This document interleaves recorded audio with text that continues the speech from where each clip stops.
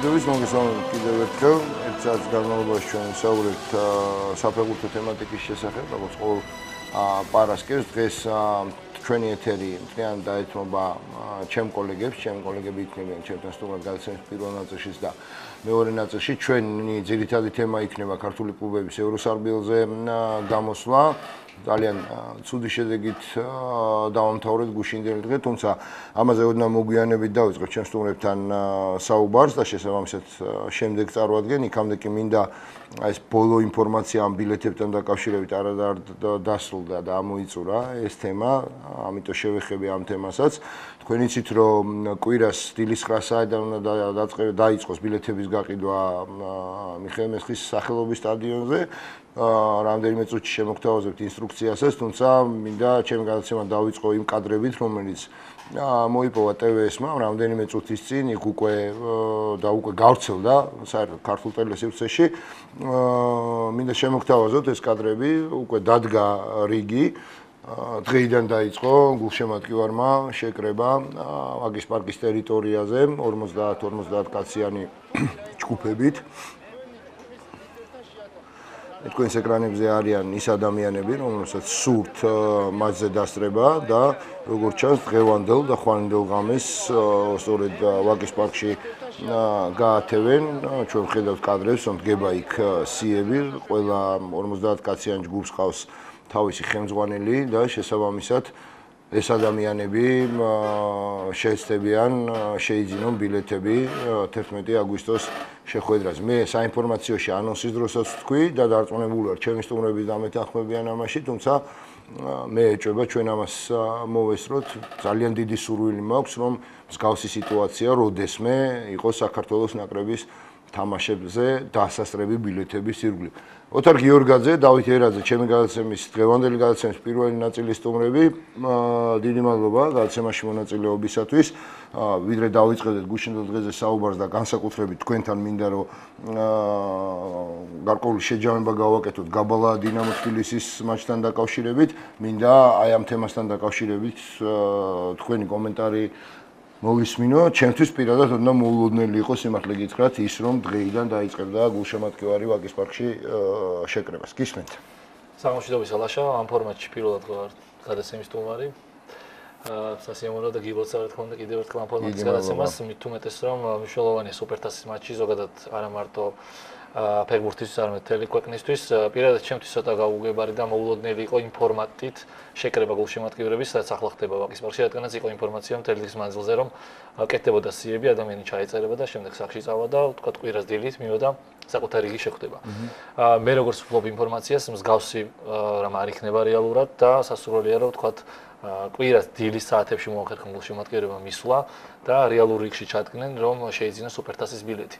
ასე რომ ალბათ გაუგებრებაში რო შევიდეს მაყურებელი სასურველი იქნება რომ მათ მუდმივ განახლებადი ინფორმაცია ნახო სხვადასხვა მედია საშუალებებით და დაელოდონ საკუთარ შანს კვირას რომ იყიდან სუპერთასის ბილეთები.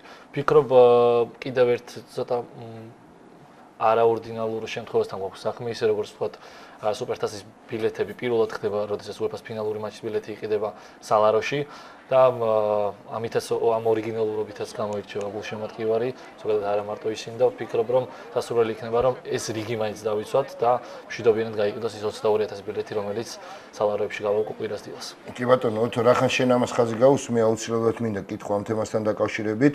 აა ეხლა წარმოგიდგენე ესეთ სიტუაცია ათენებ ორ ღამეს მინიხარ ყველას დილით და აღარ ხდება ისიები, რასიებიც არის. ანუ რეალურად ამანაც შეიძლება გარკვეულწილად დისკომფორტი და უკმაყოფილება შექმნას გულშემატკივრებში. დიახ.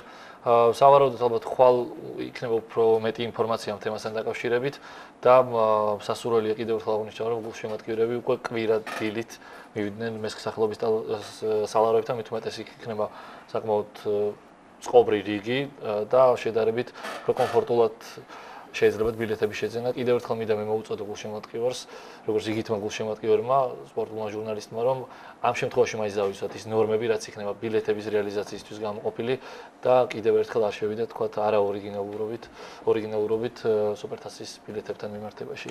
რადგანაც ამ თამაშს და ზოგადად ბოლო ერთ თვეს განსაკუთრებით სრულიად ევროპა ადევნებს თვალყურს. კი ბატონო. დათო. ალბათ დამეთანხმები რომ ოთოსთან შედარებით ჩვენ უფრო უფროსი თაობის წარმოადგენლები ვართ და გვახსოვს ბოლო ესეთი რიგი იყო დინამო ვერდერის თამაშის დროს 87 წელი იყო და ეს ფურთის მიმწოდებელი ვიყავი მაშინ სხვათა კარგი მაგარი თამაში ნახე ძალიან, კი. და შეიძლება ითქვას რომ ეს იყო იმ დროინდელი ასე ვთქვათ, ჩეული ამბავი, როდესაც წინა დღეს ღამით ათენებდნენ ღამეს იწერდნენ ხელზე რიგს და ბილეთებს ასეყიდულობდნენ, თუმცა კიდევ ერთხელ ვამბობ, რომ ძალიან კარგად იყო ახსნილი ის მეთოდი, თუ როგორ უნდა შევიძინოთ ბილეთები, ის დამხმარე საშუალებების, თუ როგორ დაეხმარებიან უბრალოდ რიგში რიგში მდგომ გულშემატკივარს სტიუარდები და შინაგან საქმეთა სამინისტროს წარმომადგენლები, რომლებიც რიგის წესრიგს, ასე ვთქვათ, უზრუნველყოფენ, აქედან გამომდინარე, ჩემთვისაც ძალიან მოულოდნელი იყო, თუმცა წინა ჩემი სტუმრობის დროს თქვი რომ ის რომ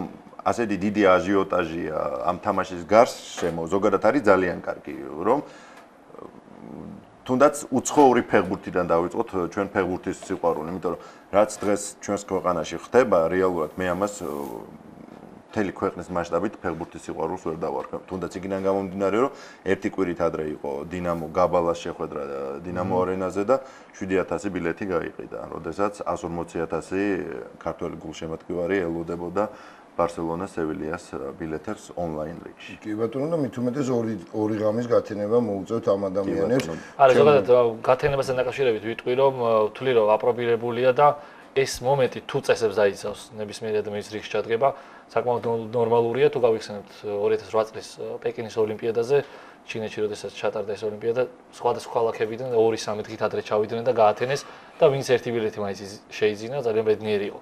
ამიტომ ამას თავის ხიბლი აქვს, ჭეშმარიტად გულშემატკივრის კუთხით რო ავიღოთ, თუმცა მინდა რომ წესები დავიცვათ და უწესობით არ შევიდეთ. კი ბატონო, რა თქმა უნდა, პირველ ყოვლისა ეს ძალიან მნიშვნელოვანია ამ მატჩის ორგანიზატორებისთვის, რომ იქ იყოს ყველაფერი დაალაგებული ისე როგორც საჭიროა. მე გულისხმობ ამ შემთხვევაში ფეხბურთის ფედერაციას და რა თქმა უნდა გულისხმობ ქალაქის მერიასაც, რადგან ჩვენ ხვალიდან გეგმავდით ფეხბურთის ფედერაცია ხვალიდან გეგმავდა იქ აუცილებელი ინფრა ინფრასტრუქტურის მოწყობას, რაც ნუ რიგში მდგომი ადამიანებისთვის არის საჭირო და შესაბამისად მათთვის იმ ხბუნებრივი არსებობს გარკვეული დისკომფორტი, როდესაც ამდენი საათი რიგში გეხარ, თუმცა ჩვენ მაქსიმალურად შევეცდებით ხვალიდან უკვე გარკვეული გვერდში დგომა გამოვხატოთ ამ ადამიანებს. მე კიდევ ერთხელ მინდა შემოგთავაზო თელი დღის განმავლობაში არა მარტო ჩვენი არხის ერთ-ერთი, არამედ ბევრი სხვა ტელეკომპანიის ეთერში გადის ინსტრუქცია თუ როგორ უნდა იქნას ბილეთი შეძენილი და გვაქვს საშუალება კიდევ ერთხელ ნახოთ ეს ინსტრუქცია და შემდეგ გამარჯვეთ საუბარი ჩვენ სტუმრებთან. UEFA Supertasis ბილეთების გაყიდვის ვიდეო ინსტრუქცია. 2015 წლის 12 ივლისი. დილის 9 საათიდან UEFA Supertasis ბილეთების შეძენის მსურველთა ცოცხალი რიგი დაიწყება ვაკის პარკიდან. ვაკის პარკის ტერიტორიაზე განლაგებული იქნება ბიოტუალეტები, სასმელი წყლის პუნქტები და მობილიზებული იქნება სასწრაფო სამედიცინო დახმარების ბრიგადა. გულშემატკივართა უსაფრთხოებასა და წესრიგს დაიცავენ შინაგან საქმეთა სამინისტრო და საქართველოს ფეხბურთის ფედერაციის სტიუარდები. 9 საათიდან ვაკის პარკში ცოცხალ რიგში მყოფი პირველი 50 ადამიანი შემდეგი მიმართულებით დაიძრება მიხეილ მესხის სტადიონის სალაროსკენ. ყოველი შემდგომი ნაკადი ასევე იქნება რიგითობის მიხედვით 50-50 ადამიანი. სტადიონის სალაროსთან მიახლოებისას ეგრეთ წოდებულ ტურნიკეტებთან სტიუარდებს უნდა წარუდგინოთ პირადობის დამადასტურებელი დოკუმენტი. ამის შემდეგ პირველი 12 ადამიანი მივა სალაროსთან და ინდივიდუალურ ფანჯრებში შეიძენს ბილეთს. გახსოვდეთ, რომ სალაროში უნდა წარადგინოთ თქვენი პირადობის დამადასტურებელი დოკუმენტი. ბილეთების შეძენა მოხდება ნაღდი ანგარიშწორებით. ერთ ადამიანს შეუძლია მაქსიმუმ 4 ბილეთის ყიდვა. როცა თქვენ უკვე შეიძენთ ბილეთს, ტერიტორიას დატოვებთ მიხეილ მესხის სტადიონის ცენტრალური შემოსასვლელი ტურნიკეტების გავლით. გისურვებთ წარმატებებს საქართველოს ფეხბურთის ფედერაცია. UEFA Super. აი ეს იყო ინსტრუქცია თუ როგორ უნდა შეიძინოთ ბილეთები 11 აგვისტოს მატჩზე დასასრებად, თუმცა, ნუ როგორც უკვე აღნიშნე, და აღნიშნეთ და ბუნებრივია ხვალ ზეგაც იქნება ამ თემასთან ინფორმაცია მაქსიმალურად მოწოდებული მაყურებლისთვის უკვე დაიწყო ხალხმა შეკრება ვაგის პარკში, ვაგის პარკის ტერიტორიაზე, რათა დაიკავონ რიგი. კარგით. Ну მოკლედ როგორც არის მე დარწმუნებული ვარ რომ ხვალ და ზეგ ბილეთების თემა იქნება უმთავრესი თემა არა მარტო სპორტული არხის არამედ მთლიანად ქართულ სატელევიზიო სივრცეში დარწმუნებული ვარ და ალბათ ამაზე მნიშვნელოვანი არაფერი მოხდება კვირა დღეს. ნუ ყოველ შემთხვევაში ტელევიზიები განსაკუთრებულად ემზადებიან ამ მოვლენის გასაშუქებლად. თუმცა რა მოვლენაა რამდენად ღირს ამოვლენის ასე გაშუქება ეს განსაჯილა თქვენთვის მომინდია. გადავიდეთ გაბალა დინამოზე. ჩემი პირველი გადაცემის პირველი ნაწილის ორივე სტუმარი იმყოფებოდა ამ შეხვედრაზე და გუშინაც ბევრი ითქვა მატჩის შემდეგ, დღესაც ბევრი ითქვა, რატო შემიდა პირველი კითხვა დაგისვა.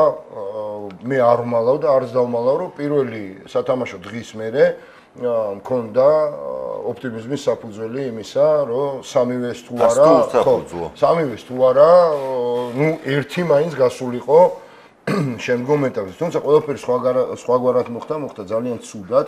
სამივე გუნდი გამოვარდა და მოდი მივყვეთ ესე თანმიმდევრულად დავიწყოთ გაბალა დინამოთი, იმიტომ რომ ამას კონდა ამ შეხვედრას აა არ ქონია მხოლოდ საფეხბურთო მნიშვნელობა. რაც ძალიან სამწუხაროა პირადად ჩემთვის. მოდი მაჯზე იყო თუ არა ის შედეგი მოულოდნელი და თქვენ მიემგზავრებოდით რა განწყობით მიემგზავრებოდით და ნუ ბუნებრივია გქონდათ იმედი რომ ეხა დინამოა და ცხადია იყო იმის ვარიანტი რომ დინამო გასულიყო შემდგომ ეტაპზე კი ბატონო, ну, რა თქმა უნდა, იმედი მქონდა და სადღაც გულის სიღრმეში დარწმუნებულიც ვიყავი, რომ დინამო შეძლებდა გაბალას ბარიერის დაძლევას. თბილისის სურმა შეხვედრა მანახა, რომ ეს არა რაღაც განსაკუთრებული გუნდი და იგივე წარმოდგენა მაქვს უკვე საპასუხო შეხვედრის შემდეგაც. გაბალამ დინამოს აჯობა იმითი, რომ ეს არის ერთ-ერთი ყველაზე, ну, დინამოსთან შედარებით ამ შემთხვევაში უფრო სტაბილური გუნდი შემადგენლობის ხრივ. სტაბილურობა ფეხბურთში რომ ძალიან ხშირ შემთხვევაში არის გადამწყვეტი ეს გუშინდელ მატჩიც გამოჩნდა, სანამ იყო ალექსანდრე იაშვილი მოედანზე.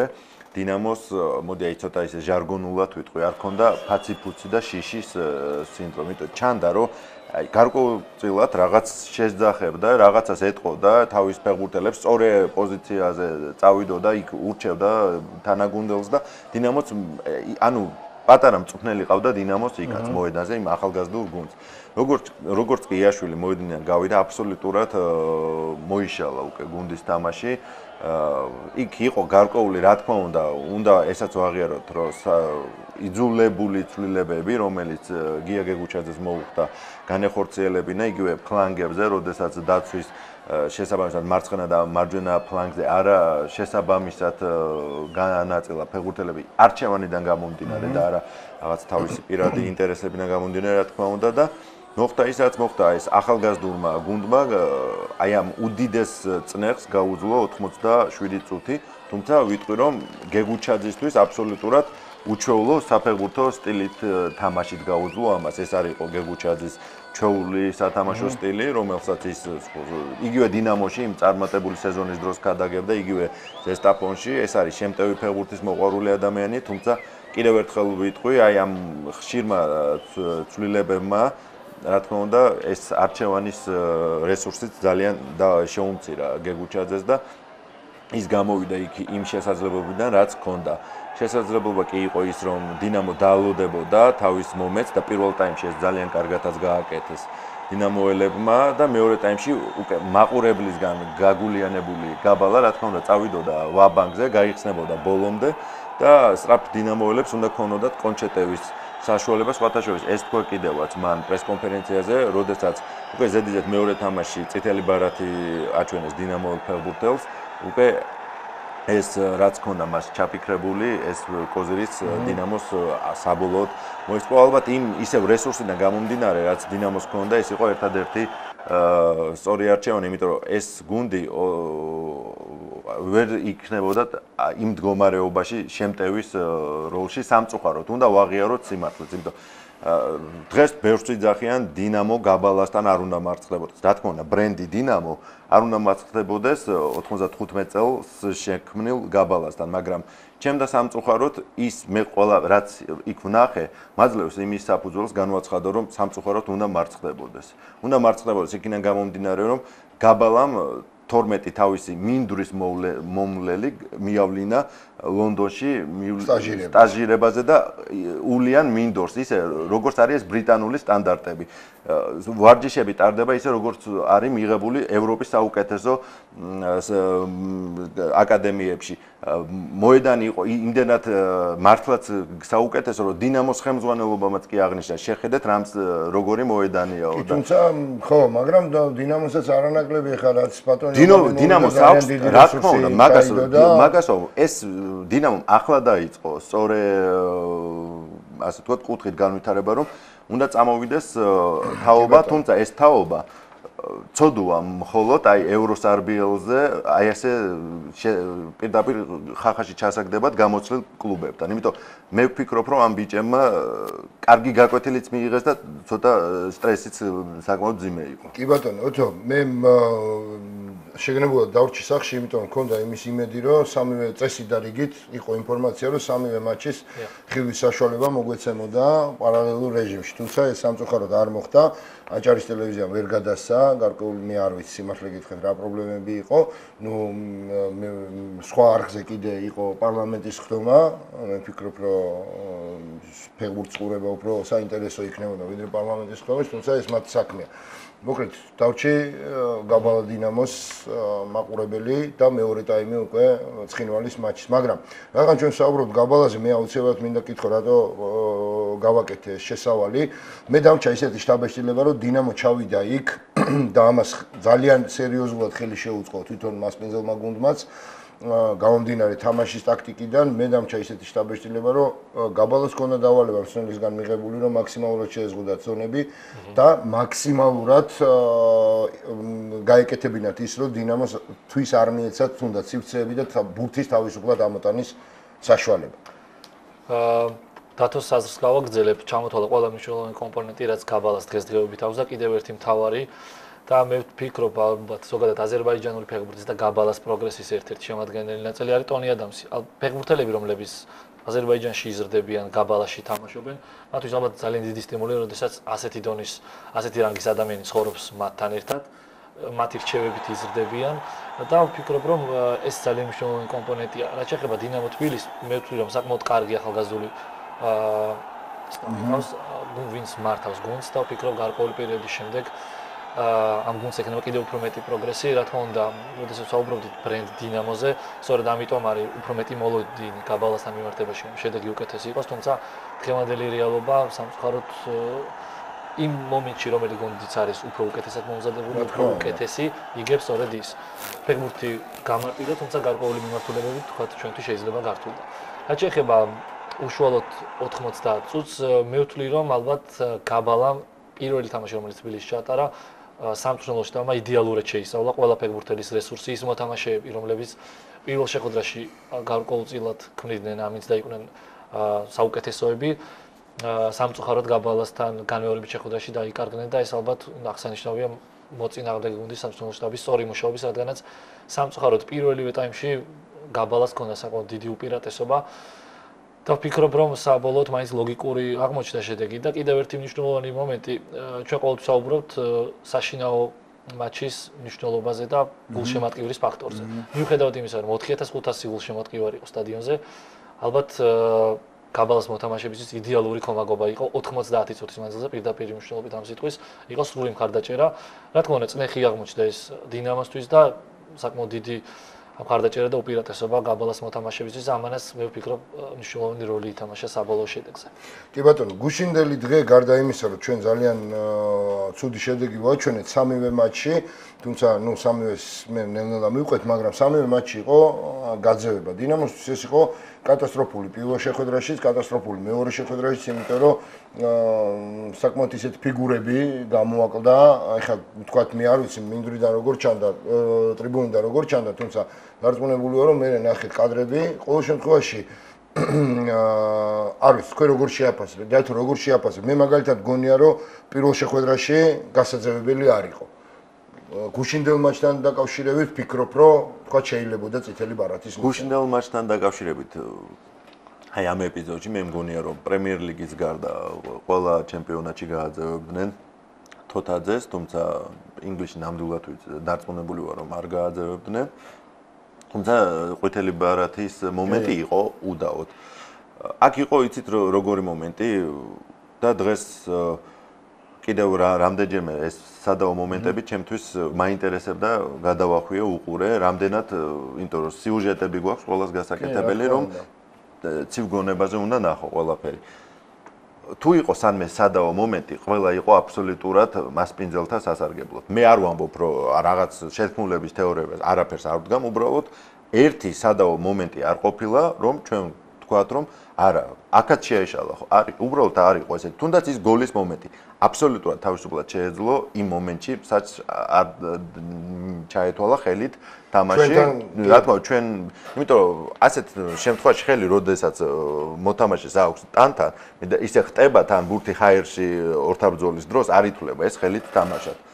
საჭმე ეს მომენტიც გაბალას ასარგებლოთ ჩათვალა და აი ესე წნეხი რო ვახსენეთ ძალიან რთულია ამ პატარა ფეგურ ასაკით პატარა ფეგურთელებისთვის მართლაც აი ამ წნეხის გაძლებას. როდესაც ხედავს რომ მაყურებელი ძალიან აგრესიულად გუნდის წინააღმდეგ განწყობილი მსაჯი აბსოლუტურად არანაირად არა მე არ ვამბობ რომ საჯმა აბსოლუტურად ვეთანხმები ოთოს რომ ის თამაში დინამომ ვერ ითამაშა როგორც თლიანობაში მომენტებით ტემპით თამაშის კომბინაციებითაც გაბალამ გვაჯობა და აბსოლუტურად მოედანზე მათ დაიმსახურეს გამარჯვება ამაზე ორი აზრი არ არსებობს თუმცა იქიდან გამომდინარე, რაც მოედნის გარეთ ხდებოდა, მე მიმაჩნია, რომ ეს გუნდი აბსოლუტურად არ არის მზად ევროს RBL-ისთვის, დაწყებული პრეს-ცენტრში არსებული სიტუაციით, დამთავრებული უკვე მოედანზე უსაფრთხოებით, მოედანზე უკაცრავად ტრიბუნებზე უსაფრთხოებით და ასე შემდეგ. თუ გვექნება საშუალება თუ დააკვირდებით, რაც ხდებოდა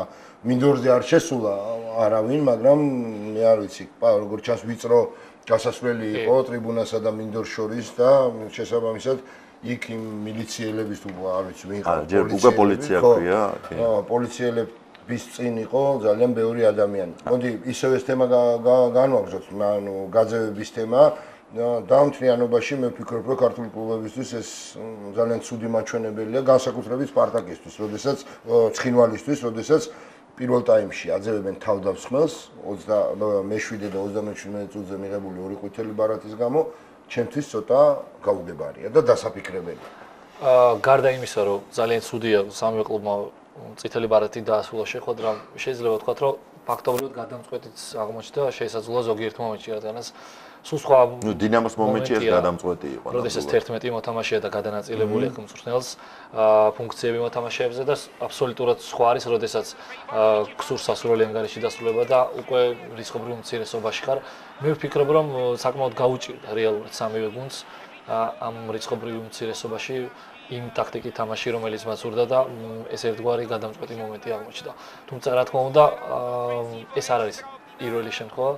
ევროტურნირებზე, როდესაც ქართული კლუბები წითელ ბარათებს იღებენ და ვფიქრობ, რომ ამ მიმართულებით ალბათ სასურველი იქნება თუ ზოგადად ფეგურთელების გარკვეულ მომენტებში უფრო იმ მომენტზე იფიქრებენ რა არის შემდეგ და რა რაც შესაძლოა წითელი ბარათით დაისაჯოს. ხო, იმიტომ რომ ამ ამ ჩვენ გვახსოვს როგორც სანაკრებო თამაშები. სანაკრებოზე გადადის, ხო. საკლუბო თამაშები ყველგან გადამწყვეტი იყო წითელი ბარათი, იმიტომ რომ ძალიან ძნელია ჯერ 11-11-ზე და მაშინ როდესაც რჩები რიცხობრივ მცირესობაში იმ შედეგის ჩვენება, რაც გუნდსაწყოს მით უმეტეს გასული შეხვედრაში და ვფიქრობ, რომ დინამო მიუხედავად იმისა, რომ გაბალას ქონდა უპირატესობა, გარკვეულწილად თავს კარგად იცავდა და შესაძლოა რომ თანაბარი შემოადგენლობა რო ყოლოდა გუნდებს 90 წუთის განმავლობაში სხვა შედეგი ყოფილიყო. კი ბატონო, დათო, შენ დაიწყე საუბარი დინამო გაბალას შეხვედრას თუ დაუბრუნდებით, კარგი იქნება ისევ.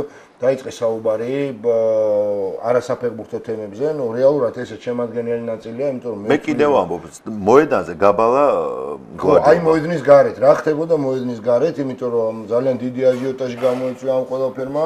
საქართველოს ფეხბურთის ფედერაციამ გაავრცელა განცხადება ამასთან დაკავშირებით, იქ დინამოს ხელმძღვანელობამ თქვა რომ მიმართავს UEFA-ს და FIFA-ს და ასე შემდეგ და ასე შემდეგ. დამოკიდებულება ქართველების მიმართ. იყო თუ არა, თქვა, სათამაშო თვალსაზრისით ისედაც ჩანდა ეკრანზე, რომ თქვა დინამოს მიმართ იქნებოდა ეს ჩვეულებრივი მოვლენა და შესაბამისად მაინტერესებს რა ხდებოდა ტრიბუნაზე. იგივე ჩემი ჩვენი პროფესიიდან გამომდინარე, ეს არის ყო ჩემი პირველი ვიზიტი აზერბაიჯანში და მართლა ნუ ოღონდ პირველი ვიზიტი იყო ბაქოს გარეთ. შეიძლება არასწორად იქნას ჩემი სიტყვები გაგებული, მაგრამ ნამდვილად ეს ესეა. ბაქო და ბაქოს გარეთ აზერბაიჯანი აბსოლუტურად განსხვავებული თემებია. ეს დამტკიცდა გუშინელ შეხვედრაში, სადაც მე ელემენტარულად ადეკვატური ადამიანი ვერ ვნახე, ვინც თუნდაც იმ აგრესიას რაღაც გარკვეული სინანულით მაინც მოიხსენიებდა ჩვენთან და რაღაც თუ ბოდიში არავის არ ჭირდება იქ, მაგრამ გვეტყოდა რომ აი ხდება ხალხი გაგიჟდა, ან რაღაც თანაგზნობას გამოხატა და ჩვენს გარშემო, როდესაც იქვე აბსოლუტურად დაუცველად მსხდომი დინამოს ის მოთამაშები, რომლებიც გუშინელ შეხვედრაში ტრავმის თუ სხვადასხვა მიზეზების გამო ვერ იღებდნენ მონაწილეობას და დინამოს სტაფის წარმომადგენლები ისხდნენ აბსოლუტურად დაუცველ სიტუაციაში და სხვადასხვა საგნები მათკენაც ცვიოდა და რაღაც სითხეებს ის ხმა მიდიოდა ძალიან ახან ლიმონათი წყალი ეს ჩვეულებრივი ამბავი იყო. აი სამწუხარო, როდესაც ასეთ მტრულ გარემოში ხვდები. ძალიან სამწუხარო, კიდევ ერთხელ ვიტყვი, დღეს ფაქტობრივად ყველა დონეზე გაკეთდა ეს განცხადება და აბსოლუტურად ვიზიარებ, რომ პოლიტიკურად ნამდვილად ერთ-ერთი საუკეთესო პარტნიორია, მაგრამ ეს არ იყო პროვოკაცია მხოლოდ, ეს იყო კარგად დაგეგმილი თლიანი აქტი, იმიტომ რომ არ შეიძლება ეს განაპირობა იმ ქმედებამ, რაც მოხდა რა თქმა უნდა, ჩვენ მივეცით ამის პროვოცირების საფუძველი გაბალას გულშემატკივარს. ძალიან ცუდი იყო, სამარცხვინო იყო ისაც სოციალურ ქსელში გავრცელდა დამწვარი აზერბაიჯანული სიმბოლიკა და ამას აბსოლუტურად მე მგონი საქართველოს მოსახლეობის 99%-იც არ გაიზიარებს და ძალიან დროული იყო სხვათა შორის რეაქცია იქ დინამოსი მოგეხსენებათ ორ ენაზე გაავრცელა კლუბმა განცხადება აზერბაიჯანულ და ქართულ ენებზე რომ დაგმო კლუბმა დაგმო ფაქტობრივად სახელმწიფოს ყველა სტრუქტურამ რამდენადაც მე ვიცი, გარკვეული გამოძიებაც ჩატარდა ის ფოტოები, რომელიც სოციალურ ქსელში გავრცელდა, აბსოლუტურად რამდენიმე კილომეტრში იყო სტადიონიდან გადაღება. ანუ, რა თქმა უნდა, მე იმას კი არ ვამბობ, რომ ის ვინც ეს ფოტოები გადაიღო და გავრცელა, ისინი სწორედ მოიხსნა. არა, უბრალოდ ამ შემთხვევაში ოფიციალური ბრალდების საფუძველი არ არსებობს. ანუ იქ არ იყო ოფიციალური სივრცე, ვისაც დააბრალებდა, ვისაც მოსთხოვდი პასუხს და იქ იყო ოფიციალურ სივრცეში მოხდა იქ. გაბალა იყო პასუხისგებელი მატჩის ჩატარებისა. უსა პოლიცია იყო უსაფრთხოებაზე პასუხისგებელი და 99-მა ალბათ დაახლოებით 2000-მდე ჯარისკაციც იყო. ქნა მოყვანენ 2000 თუ 1000 ჯარისკაცი ნამდვილად იყო თელ პერიმეტრზე. აბსოლუტურად ნული იყო მათგან რეაგირება. აი, აბსოლუტურად. ბოლოს უკვე როდესაც აგრესია ჟურნალისტებზე წამოვიდა, ერთ-ერთ პოლიციელს მოუკიდა ხელი, აქ security ეწერა, ვეკითხებ, ეს რას ნიშნავს, თუ იცით თქო და მე მე მაწყმარებდა, კაი, მივხედავ და უბრალოდ მიხედვა იყო ის, რომ ჩვენ ჟურნალისტები გამოგვიყვანა, ასე ვთქვათ, ჭყალებში სამშვიდობოში. აი, ეს იყო თემა. ოთო, მე მინდა ამ ეს თემა განვაგრძო და აუცილებლად მინდა კითხო, იმიტომ დღეს ნახეთ, თქვენს გრახეთ ნახეთ, სხვა ჩემ მეგობრების რომლებიც იყვნენ ესწრებოდნენ ამ შეხვედრას იქ და იყო ესეც საუბარი რომ არავინ იცის რა მოხდებოდა იმ შემთხვევაში ჩვენ რომ მოგვეგო. აი რა შეიძლება მოხდარიყო და მატჩის შემდეგ, იმიტომ რომ აქ გავცელდა ინფორმაცია რომ თითქოს ავტობუს კი ავტობუსი ვნახე მე ნამდვილად ჩამწრეული მინიტი. გავაგრძელებ ამ თემას. იყო ძალიან საინტერესო მომენტები. ბევრ თამაშზე ყოფილვართ გვინახავს ყველანაირი გულშემატკივრობა, აგრესია. ну ჯერ დავიწყოთ იმით რომ სამწუხაროდ ყოლა დაუცველი იყო მედია ტრიბუნა ფაქტობრივად ჩვენ და ის გულშემატკივრები ვინც საბოლოოდ ბანერები გამოფინეს ქართული ქალაქები აზერბაიჯანულად და ასევე აზერბაიჯანის სადაც ზოგიერთ შემთხვევაში საქართველოს ქალაქი იყო დატანილი მათ ტერიტორიად. სწორედ მათ გვერდით ვისხედით იყო ერთი ძალიან საინტერესო მომენტი. ეს ბანერები ამ გულშემატკივრებს მაშინ გამოფინეს როდესაც მათ წინ ერთ-ერთი ადგილობრივი ტელევიზია დადგა და მიმდინარეობდა ტრიბუნის გადაღება. სწორედ ორივე შემთხვევაში, როდესაც ეს ბანერები გამოიფინა, აფიქსირებდა ადგილობრივი ტელევიზია. სწორედ ამიტომ კიდევ ერთხელ ვწმუნდები, რომ ეს იყო ალბათ სამწუხარო იმ ინციდენტის გაგრძელება, რომელიც თბილისში პირველი მატჩის შემდეგ მოხდა, როდესაც სამწუხაროდ ქართულ მოგულ შემატკივრმა რამდენიმე მათგანმა შეურაცხო აზერბაიჯანის სიმბოლიკა, რაც ყოლა დაუშვებელია. მე მინდა ამ ადამიანს მოუწოდო, რომ ეს არ არის მხოლოდ პირადი პოზიცია, როდესაც მსგავსი რამ მსგავსი მასშტაბის მოქმედებას ჩადიხარ, აზიანებს შენს ქვეყანას პირადად, შენ და რა თქმა უნდა უშუალოდ იმ კლუბს, რომელსაც გულშემატკივრობ. და კიდევ ერთი მომენტი აა, როდესაც ეს ბანერები, როგორც აღნიშნე, ორჯერ გამოიფინა ტრიბუნებზე, აა მეორე შემთხვევაში პოლიციის აა რეაქცია დაახლოებით 5-7 წუთის მერე მოხდა. ანუ დაახლოებით 5 წუთი იყო სკანდირება ამ ბანერებთან ერთად და პოლიცია ჩანს არავინ არ მიდის აბსოლ გაშლილი იყო. მოქმედებაზე არ გადადიოდა და მას შემდეგ როდესაც ქართული ტელევიზიების გადამღები ჯგუფები მიუახლოვდნენ სრულად აფიქსირებდნენ რა ხდებოდა რეალურად ტრიბუნებზე, თორემ მას შემდეგ დაიწყო ამ ბანერების ჩამორთმევა. და სტადიონის ტერიტორიიდან გატანა და უკვე კულმინაცია იყო ბოლო, როდესაც საქართველოს დროშა დაიწვა რამდენიმე წამში მოხდა ზოგიერთ ადამიანს საერთოდ ვერ და ეს აღმოსავლეთ ტრიბუნაზე ზუსტად ჩვენ ჩვენი დაახლოებით 15 წუთით ადრე ყოველად მაჩამდე თუ მაჩამდე დასრულებამდე 15 წუთით ადრე და ამიტომ ყოველად უმართავი იყო მდგომარეობა ტრიბუნებზე და პარალელურ რეჟიმში მიდიოდა თამაში. და თუმცა სწორად აღნიშნა ძალიან ბევრი პოლიციელი იყო თუმცა ალბათ ეს იყო მასპინძელი მხარის არასწორი დავალების მიცემა ისინი იცავდნენ განსაკუთრებით მოედნის პერიმეტრს, სადაც ფეხბურთელები იყვნენ, თუმცა ყოველ დაუცველი იყო ქართველი გულშემატკივარი, თუმცა ის ტრიბუნაც გამოყოფილიყო, მაგრამ მედიის მიმართულებით და იმ შემთხვევაში რომ დასრულებულიყო მატჩი ჩვენ სასარგებლოდ ძალიან რთულია. რამდენადაც მე ვიცი ოთარ გაბალას პრეზიდენტი ადრე იყო საბაჟოს ხელმძღვანელი აზერბაიჯანის, მთელი აზერბაიჯანის და ახლა ხელმძღვანელობს საგანგებო სიტუაციებს თუ არ ვწდები ამ ქვეყანაში. აი ამ ადამიანს რომ დომებოდა ყოველგვარი საგანგებო ზომების გატარება და ეს რაღაც მდგომარეობის აღკვეთა. ნუ ხო იცით რა როგორი ქვეყანაა და როგორ რამდენად უფრო მეტი ინციდენტი მოხდებოდა და სამწუხარო ძალიან დიდი იყო, რადგანაც ამ ბანერების მოზე რა თქმა უნდა აგრესია უფრო გვივდებოდა აზერბაიჯანულ შემატკივრებში იქვის ხედით ჩვენც და რეაქცია ფაქტობრივად არ იყო სამწუხაროდ. თუ იმედი გვაქვს რომ დელეგატი რომელიც ესწრებოდა ყველაფერი ჩაინიშნა, თუმცა მიუხედავად იმისა რომ შესაძლოა ყველა დეტალი შეიძლება ვერ მოხდეს.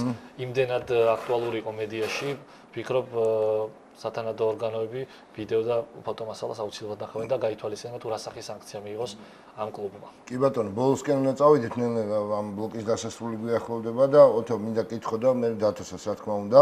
აა, იმიტომ რომ ეს კითხვა ყველაზე აქტუალურია. დღეს რას მივაწეროთ ქართული კლუბების გუშინდელი შედეგები? კიდევ ერთხელ ძალიან მწუხარო სამივე კლუბი გამოეთიშა ევროპის ლიგის საკვალიფიკაციო ეტაპს და მინდა ვისურვო რომ უკეთესი სეზონი იყოს მომავალ წელს.